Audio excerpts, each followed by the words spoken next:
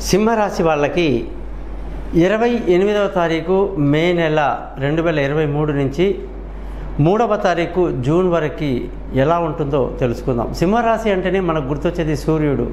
మరి ఈ సూర్య భగవానుడు సాక్షాత్తు మనకందరికీ కనిపించేటువంటి కులాలకి మతాలకి అన్నిటికీ అతీతమైనటువంటి భగవంతుడు. అటువంటి రాశి సింహరాశి చాలా గొప్పదండి.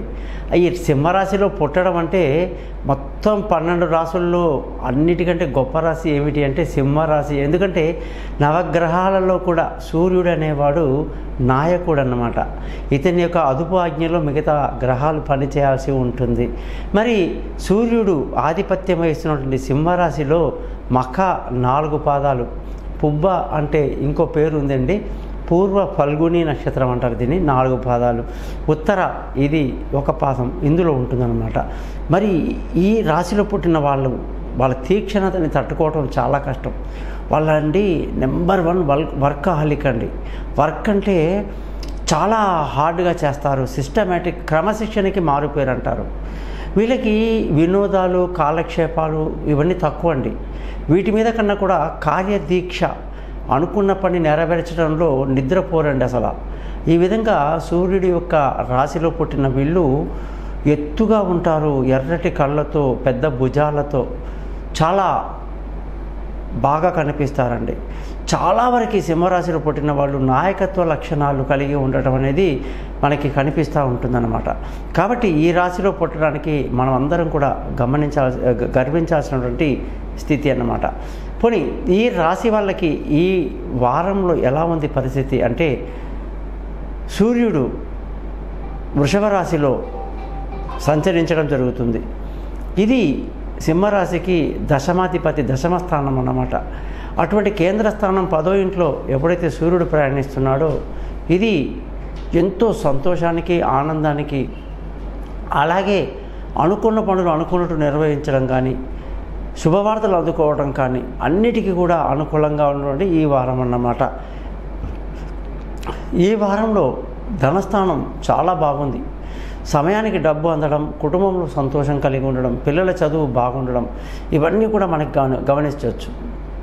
అలాగే బంధువుల స్నేహితుల సహాయ సహకారాలు మనకేం పెద్దగా లభించదండి. అయితే ముప్పై ఒకటి తర్వాత బంధువుల స్నేహితులు ఎక్కడి నుంచి వస్తారో కానీ చాలా సహాయం చేయడానికి మనతో కలిసి ఉండడానికి మన ఇంటికి వస్తూ ఉంటారండి. ఇది గమనించండి మీరు.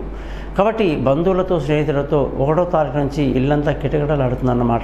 మానసిక ధైర్యాన్ని అప్పుడు చాలా బాగా కలిసి ఉంట కలిగి ఉంటారండి. కాబట్టి ఈ మానసిక ధైర్యం ఏమిటి బంధువుల రాకేమిటి చాలా సంతోషాన్ని కలిగిస్తుంది. విలువైన వస్తువులు భూములు వాహనాలు ఏదైనా సరేనండి ఈ వారంలో కొనడం అంత అనుకూలంగా లేదండి. కాబట్టి మీరు ఈ వారంలో అలాంటి పనులు చేయక కొంత ఆగటం మీకు మంచిది. ముఖ్యంగా సంతానం విషయంలో కానీ చూసుకుంటే అద్భుతంగా ఉందండి. పిల్లల డెవలప్మెంట్ బాగుండి వాళ్ళ అచీవ్మెంట్ మిమ్మల్ని గర్వాన్ని కలిగిస్తాయి. విదేశాలకు వెళ్ళి చదువుకోవాల్సిన పిల్లల చదువు బాగుంటుంది. దూర ప్రయాణాలు చేసేవాళ్ళు ఎంతో సౌకర్యవంతమైనటువంటి ప్రయాణాలు చేయటం ఆహ్లాదకరమైన వాతావరణంలో తమ ప్రయాణాన్ని ఎప్పటికీ గుర్తుంచుకుంటారనమాట ఈ వారం అంత బాగా ఉంది. మీరు చేసే ఆలోచనలు కానీ పనులు కానీ ఎప్పటికీ కూడా పర్ఫెక్ట్గా ఉంటుందండి. ఈ వారంలో గ్రహాల స్థితి మీకు అంత అనుకూలంగా ఉంది. కాకపోతే మీకు నరదృష్టి అంటే ఇంత క్వాలిటీ ఉండి ఇంత ఈ- మీకు స్కిల్స్ ఉన్నప్పుడు చూసేవాళ్ళు కొందరు మిమ్మల్ని చూసి ఏడ్చే వాళ్ళు ఉంటారనమాట అంటే వాళ్ళ వల్ల ఏంటంటే కొంత ఈ నరదృష్టి అంటే అన్ని జంతువులు పక్షుల దృష్టిలో కన్నా కూడా నరదృష్టి మహా డేంజర్ అన్నమాట. కాబట్టి ఈ నరదృష్టికి అందరూ కూడా దెబ్బతింటారు. అంటే ఆరోగ్యపరంగా కానీ ఫైనాన్షియల్గా కానీ జాగ్రత్తగా ఉండడం చాలా మంచిది. భార్య భర్తల మధ్య చక్కటి సయోధ్య కలిగి ఈ వారమంతా చాలా సంతోషంగా ఉంటారు. పెళ్ళి కుదరని వాళ్ళకు పెళ్ళి కుదురుతుంది. దూరంగా ఉన్న వాళ్ళు కలుసుకుంటారు.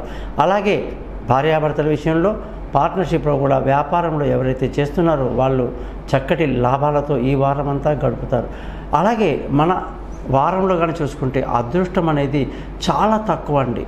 అంటే మనం ఏదైనా పని మొదలుపెట్టేటప్పుడు దానికి ఎటువంటి ఆటంకం లేకుండా తొందరగా ముగిస్తే చాలా సంతోషిస్తాం. కానీ ఈ వారం ఎలా ఉందంటే కొన్ని గ్రహాల కారణాల వల్ల ఈ యొక్క అదృష్టం అనేది బాగా తక్కువ. ప్రతిదానికి కూడా ఎక్కడ కూడా పొరపాటు జరగకుండా ప్రణాళికాబద్ధంగా పనిచేసుకుంటే బాగుంటుంది. కేవలం మన శ్రమ మీద మాత్రమే మన విజయం అనేది డిపెండ్ అయి ఉంటుంది. అదృష్టం వల్ల మాత్రం కాదు. మరి తండ్రి సహకారం బాగుంటుంది. అలాగే న్యాయంగా ధర్మంగా కూడా ఈ వారమంతా జీవిస్తారన్నమాట. ఉద్యోగం చేసే వాళ్ళకి ఈ వారంలో ఈ ముప్పై ఒకటవ తారీఖు వరకు చాలా బాగుందన్నమాట. ఇందులో ప్రమోషన్లు ఇంక్రిమెంట్లు పై అధికారుల ప్రశంసలు అలాగే చక్కటి అవకాశాలు అలాగే కీర్తి ప్రతిష్టలు బాగా పెంచుకుంటారండి. అనేక రకాలుగా ఉద్యోగస్తులకు ఈ వారం చాలా బాగుంది. వ్యాపారస్తులకు కానీ చూసుకుంటే వ్యాపారస్తులకి ఈ వారంలో అనేక రకాల లాభాలతో ఈ వారం అంతా గడుస్తుంది. మంచి లాభాలతో సంతోషంగా ఆనందంగా గడుపుతారన్నమాట. ఇక ఖర్చుల విషయంలో వస్తే ఈ వారం అది ఖర్చులు అధికంగా ఉండే అవకాశం ఉంది. మీరందరూ కూడా ఆదిత్య హృదయం సూర్యాష్టకం రోజు చదువుకోవడం కేతు అంటే ఈ యొక్క మ మకా నక్షత్రంలో పుట్టిన వాళ్ళు కేతు మంత్రాన్ని పుబ్బా నక్షత్రంలో పుట్టిన వాళ్ళు శుక్ర మంత్రాన్ని ఉత్తర నక్షత్రంలో పుట్టిన వాడిని సూర్య మంత్రాలు చదువుకోవడం ఎంతో మేలు చేస్తుంది.